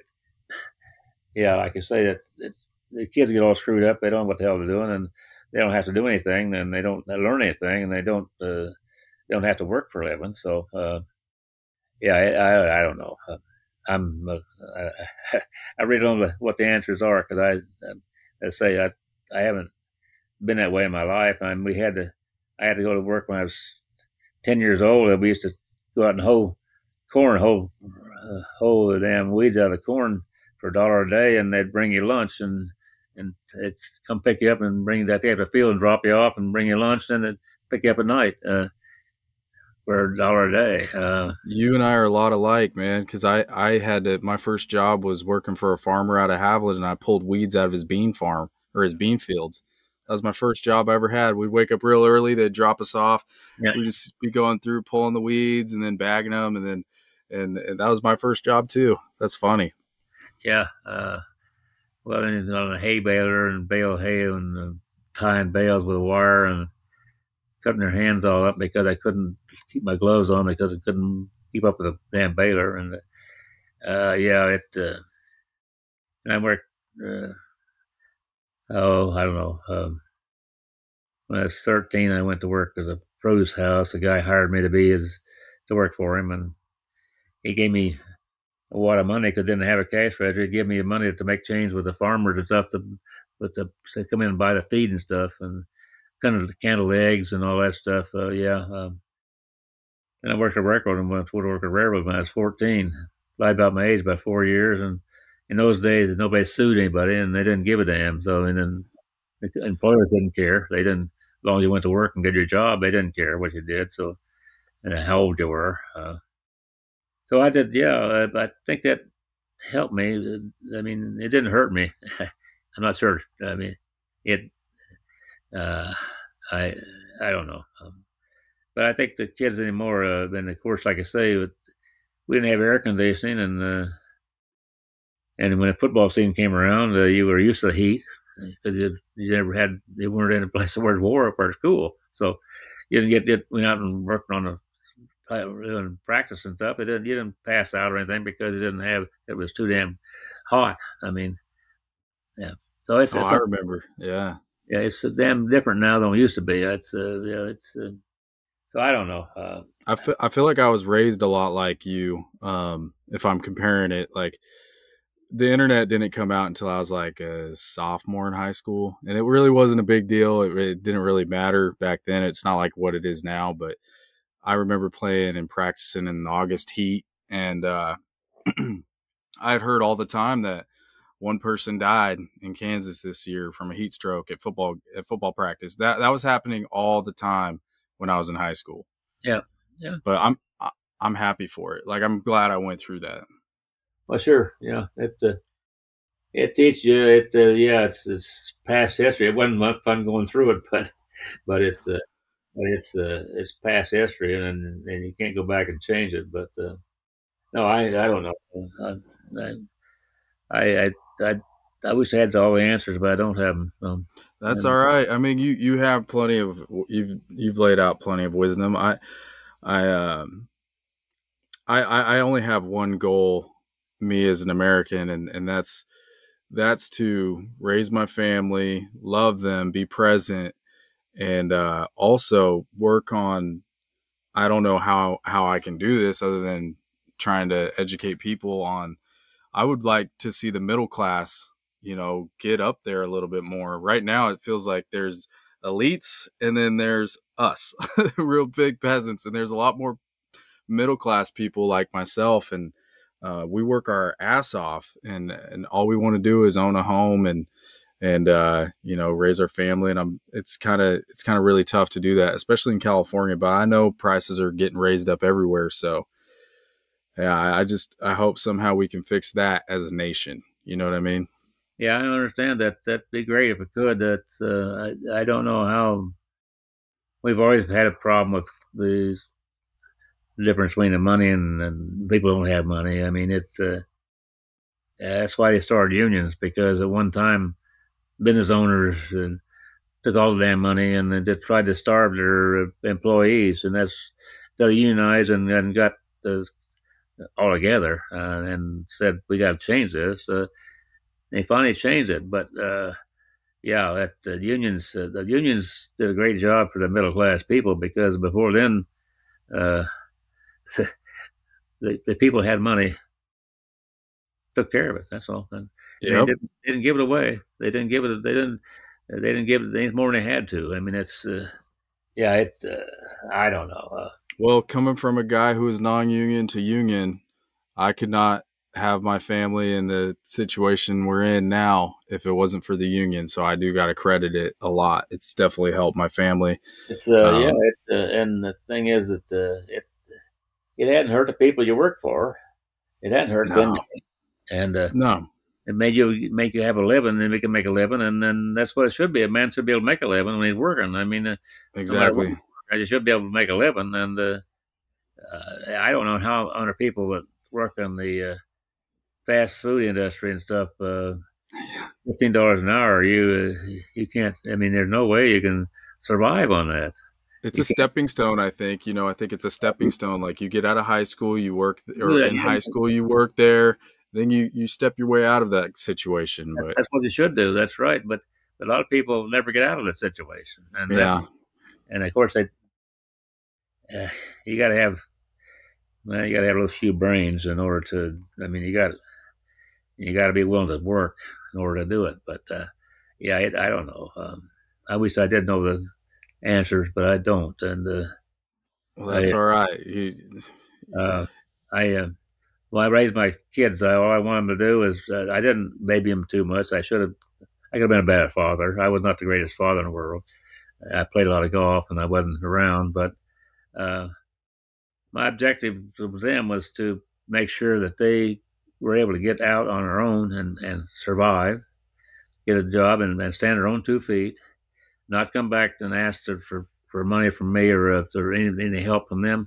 I, I wanted to be able to be independent, and they became that way because, and that's why I wanted to raise them. I don't know. Uh, I I probably could have babied them more and uh, done more for them, but uh, I made them do their own thing. A lot of it, uh, they had to pay part of their own way to college and everything else. I didn't give it to them on a silver platter, uh, and I I think they enjoyed it. They appreciate it more when they got some input in it. So people that pay for the college education for the kids straight through and don't make them work for it, uh, I think they don't quite appreciate it as much as uh, if you had to put your own effort into it. So I don't know. I don't. know. That's my own opinion, but uh, I'm sure some people are fine and some people aren't. But that's uh, that's the way I look at it. But uh, yeah, um, I think you did a good job.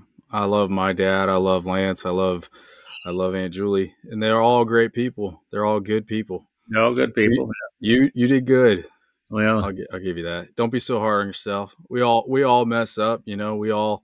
If we could go back in time, you know, we'd probably be more present in certain situations and all that stuff. But yeah, I could have um, been, been better. Yeah, I could have been. But yeah, that- it- that's it- all right. can't go back and change it. So it's it's what it is. So Well, you Yeah. were a damn good grandpa. I loved you as my grandpa for sure. Well, Still do. you. I, I love the grandkids. I I uh, I enjoy that uh, you all. That's it. But uh, yeah, that's uh, I've uh, I've had all all yeah, my grandkids have been great. I mean, and I I think so. Uh, it's uh yeah your your sister now is going to have a baby, you know. So Yeah, so I'm excited for her. I, I've been Mhm. waiting. girl too. Say that again. She's going to have a girl also. She's going to I have a girl. know. I know. I think it'll be good for her. She's uh, she's needed to. I think once she has the kid, she's gonna she's just gonna realize all the love she's gonna have for that little baby, and Oh, yeah. it'll change your life. It'll it'll be a good thing. It'll be a great thing. I'm I'm excited to for Oh, Luna yeah. to have a little cousin. That's good. I'm too. That's that's be fine. And then and I uh, I think that uh, it's uh, it's a child is is great to have. Uh, there, uh, but man, a young guy, you have to take care of him, and you have to worry about him. And and, and anytime they get a cough, and uh, it's uh, it's a it's a worry. That's true, and it's it's because anytime they get the sniffles or some damn thing, you think they're gonna get sick, and you don't want them to get sick. Uh, yeah, it's a it's a it's a, it's it's difficult, and uh, but it's it's worth it. Yeah, that's it. Oh yeah, But it's, yeah. but it's uh, yeah, it's uh, It's a tough road, but it's it's worth every penny. that's right. It's uh, it's and some people it's uh, it's a strain on some because when a young guy married and kids and you got to make a living, you got to pay for the house, you got to do this, you got to do that. So it's just you got some pressure on a person, and young guys have pressure. Of course, you get this old, you don't have any pressure because nothing nothing works, but doesn't make any difference. But I, I'd be lying if I said I didn't pop every now and then. It, I, I have a lot of pressures, and, and it, uh, I'm wor- I'm working on not letting it bottleneck and just be like, wow, you know, and I'm working on it. But it's, It's tough. It's, it's tough. That- that- You, you've got a lot of responsibility. You got responsibilities, and, it, and you have to do it. And it's uh, it's it's, it's you can't. I mean, it's uh, I don't know what it is. You just can't let up. I mean, you got to you got to go out and fight every day, and you got to do what Exactly. you do. Uh, uh, but you can't. Uh, it's it's it's not it's not easy. It's, it's No, It's It- it's life, but it's not easy. That's it. it's given me a whole new purpose. You know what I mean? Oh yeah. Before, before when I was single, living on the beach and partying, doing whatever I wanted to do, I had no real purpose, and now I have a lot of purpose. So, it's and I, I'll take it on. It's it's it's tough, like you said, it's tough, but it's It's worth not it. No, it's not easy at all. No, it and it's a strain on them. It's bound to be a strain on a person, and uh, yeah, because uh, you're the uh, breadwinner, and you got to do this and do that, and, and you have to take care of them, and and of course you you, you always worry about them. You, you Yeah.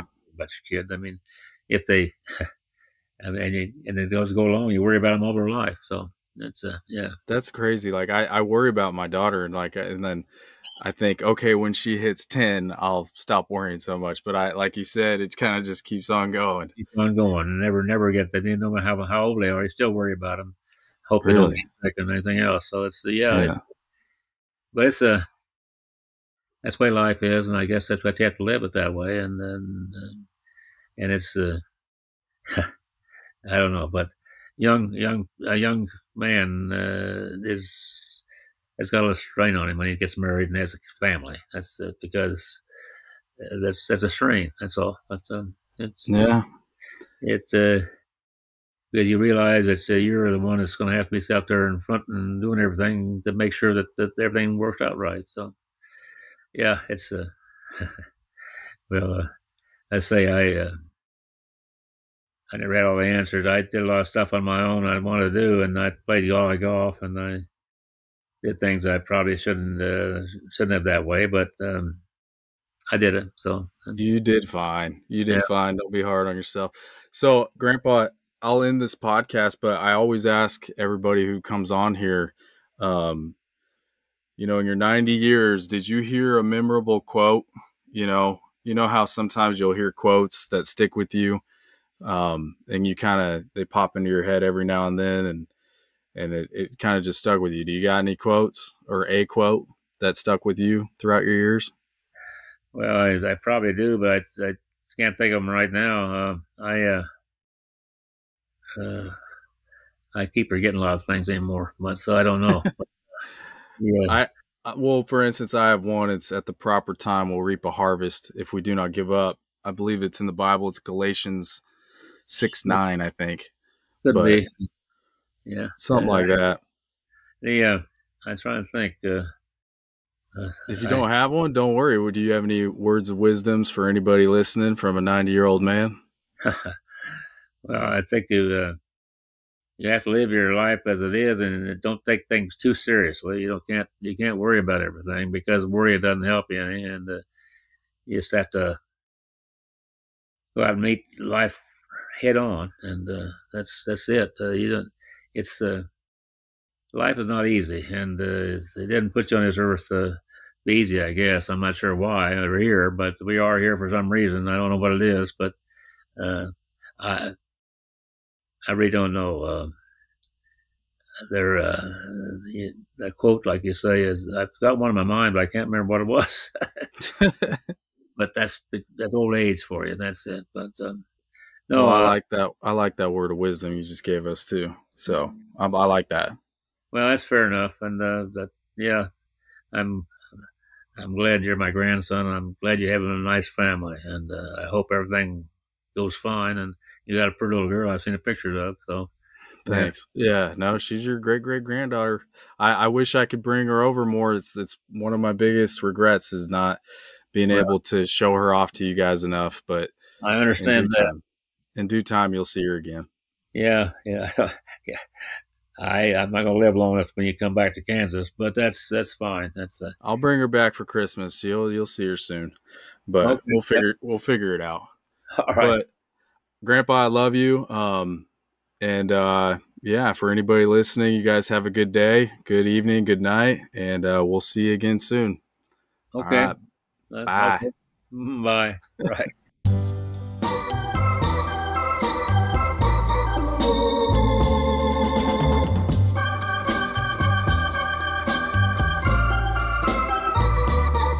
That's life. That's life. That's what all the people say. You're riding high in April, shot down in May. But I know I'm gonna change that tune. When I'm back on top, back on top in June. I said that's life. That's life. And as funny as it may seem, some people get their kicks stomping on a dream. But I don't let it, let it get me down. Cause this fine old world, it keeps spinning around. I've been a puppet, a pauper, a pirate, a poet, a pawn and a king.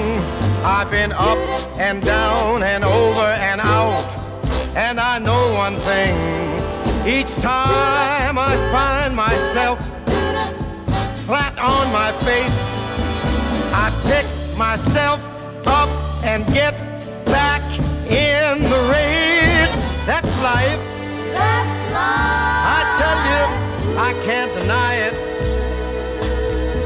I thought of quitting, baby, but my heart just ain't gonna buy it.